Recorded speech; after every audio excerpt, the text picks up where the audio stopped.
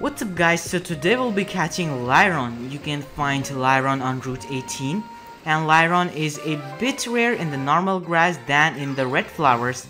Also, Lairon is exclusive to Pokemon X, while Pupitar is exclusive to Pokemon Y.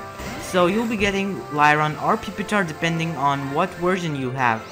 Also, Lairon evolved into Aggron at level 42 and Aggron does have a Mega Evolution which you can have access to only after beating Elite Four. So if this video helped you guys, make sure to leave a like, comment and subscribe for more helpful videos in future. So yeah, thanks for watching.